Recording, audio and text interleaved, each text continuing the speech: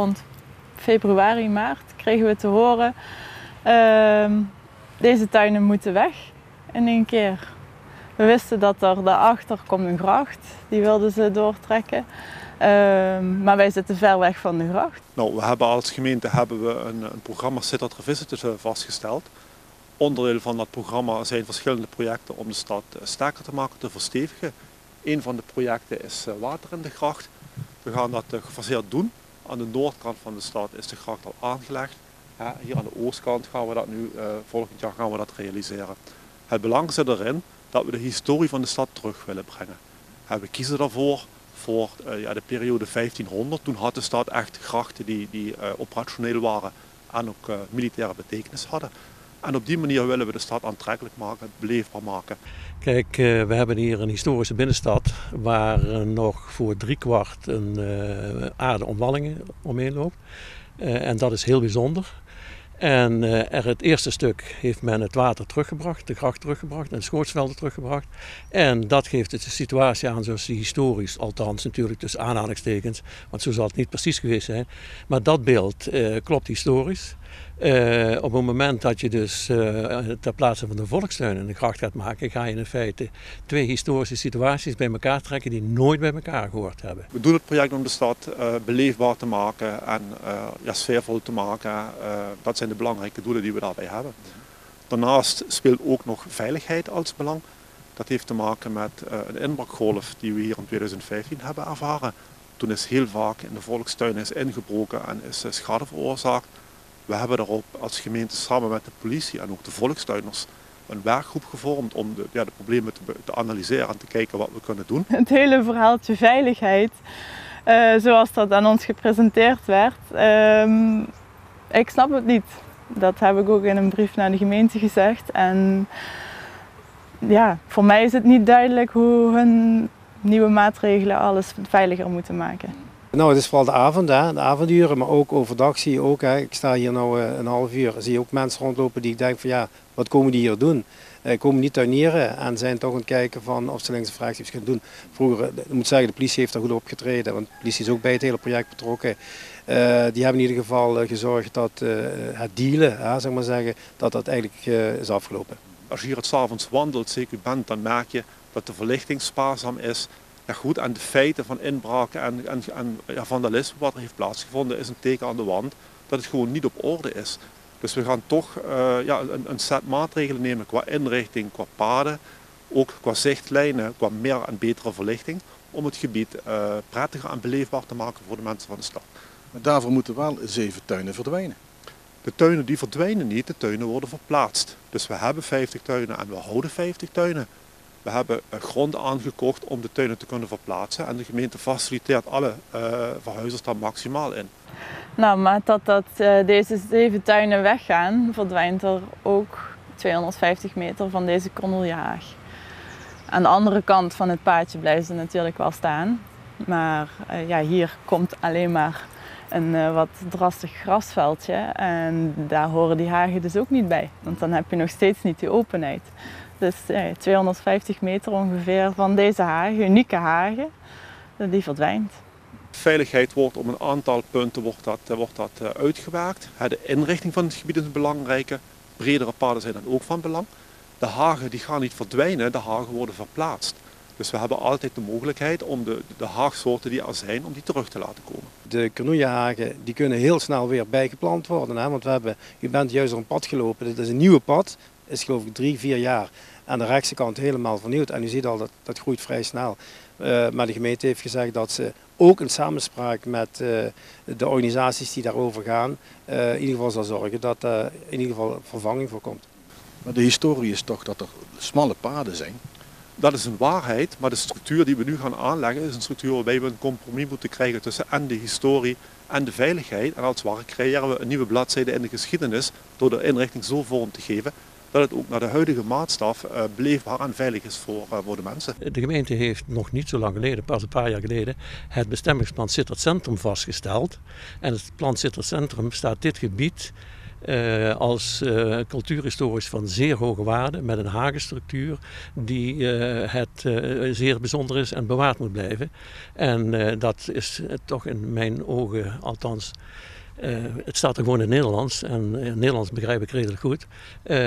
dat houdt in dat je dus eigenlijk met je vingers van de tuinen en de hagen af moet blijven. Hoe onveilig voel je je hier in je eigen tuin? Nou, doorgaans eigenlijk helemaal niet onveilig. Het is, uh, ja, je weet dat, dat hier s'nachts mensen wel eens zijn. Ja. En dat die spullen mee kunnen nemen, ja, klopt. Maar overdag heb ik eigenlijk nooit zoiets van ik voel me onveilig hier. En zeker niet met mijn bijen. Daar komen de meesten liever niet in de buurt. de tuinen die verdwijnen niet, de tuinen worden verplaatst. Dus we hebben 50 tuinen en we houden 50 tuinen. We hebben grond aangekocht om de tuinen te kunnen verplaatsen en de gemeente faciliteert alle uh, verhuizers daar maximaal in. We hebben in april hebben we al overleg gehad met de mensen die hun tuin uh, op een andere plek terugkrijgen.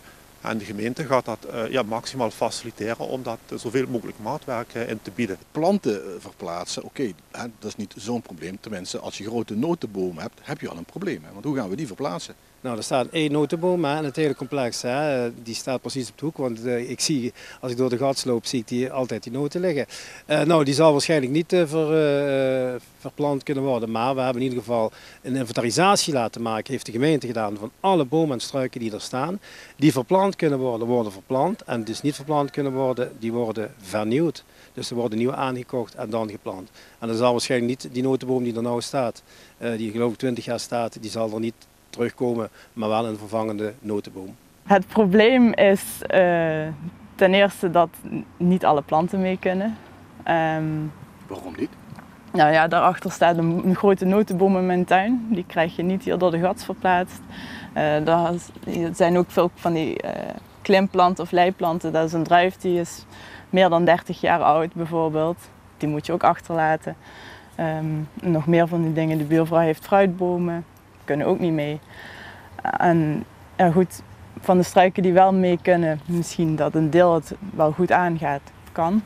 Een ander deel zal niet aangaan. En wat je daarvoor terugkrijgt zijn over het algemeen niet dezelfde grote, mooie, volle struiken meteen in het begin. Dus daar kan je jaren op wachten. Het probleem is, er zitten 200.000 bijen in de tuinen. En dat schijnt toch een probleem te zijn om die te verplaatsen. Nou, we zijn als stad blij met de imkers en we zijn ook blij met bijen. Bijen zijn erg belangrijk voor de natuur en ook voor eh, de bevruchting van natuurlijk de planten. Uh, kun je verplaatsen, alleen je moet dat uh, op, een, uh, op een verstandige manier doen. Daarom hebben wij als gemeente ook een deskundige hebben wij, erbij gehaald die ons gaat adviseren hoe wij samen met de imkers de bijen gaan verplaatsen.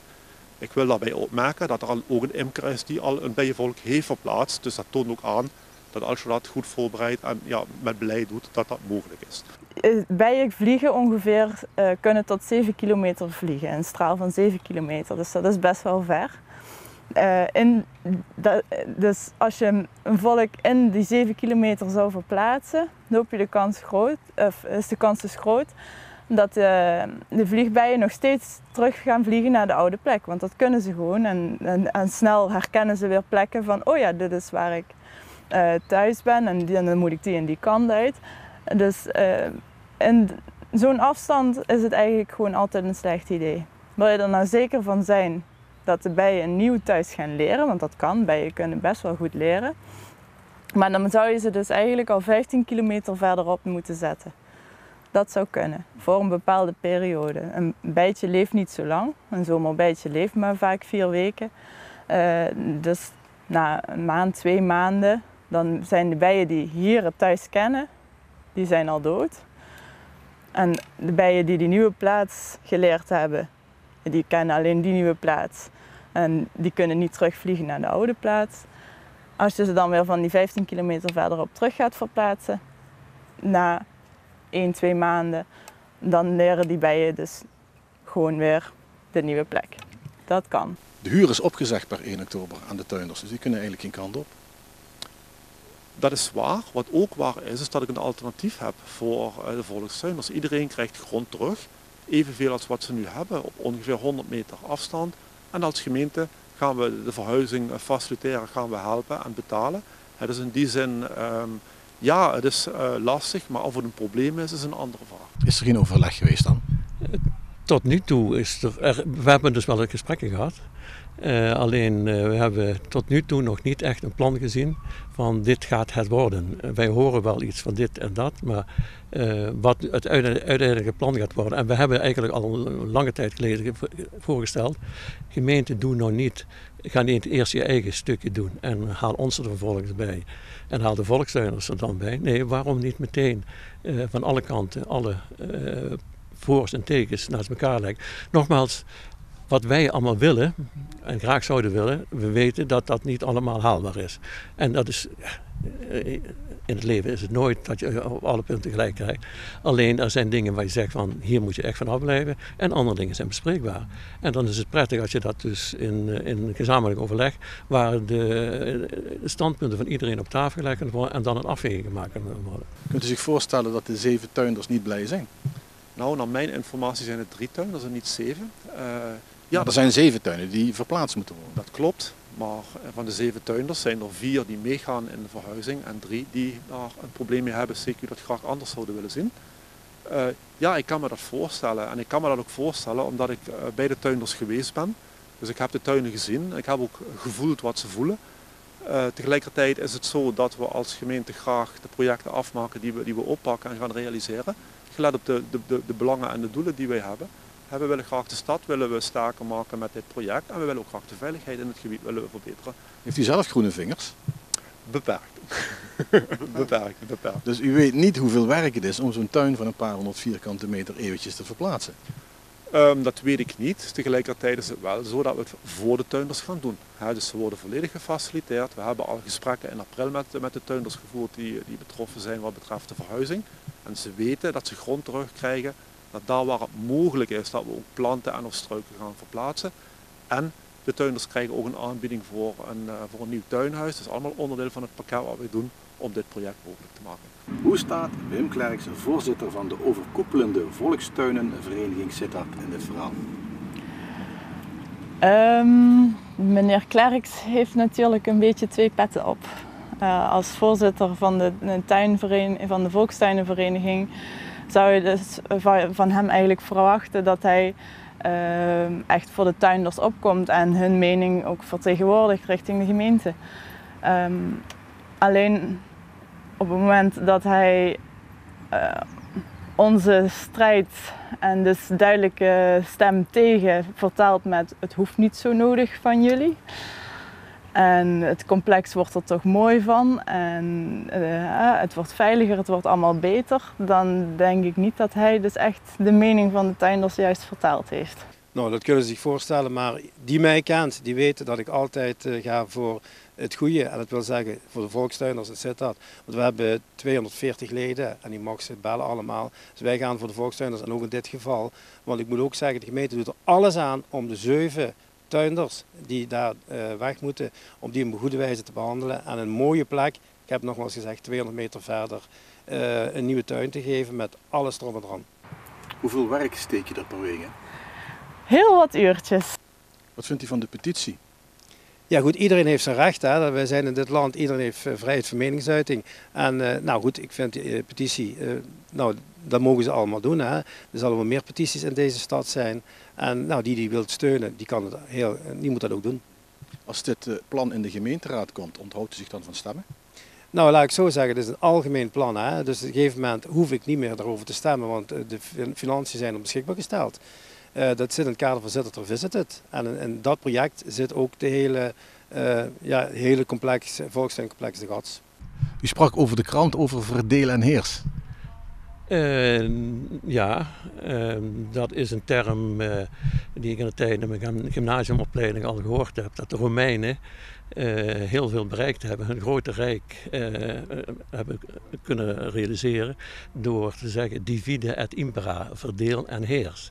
En op het moment dat men tegen ons zegt, de volkstuiners zijn met het plan akkoord. En ik hoor vervolgens, want ook de volkstuinen zijn uh, vertegenwoordigend uh, geheime tuinen. En dat daar gezegd wordt, de cultuurhistorische verenigingen zijn akkoord. En het blijkt beide niet te kloppen. Dan heb ik inderdaad uh, de, term verdeel en heers op mijn lippen liggen. Ja. En niet alleen op mijn lippen, ik heb me uitgesproken ook, ja.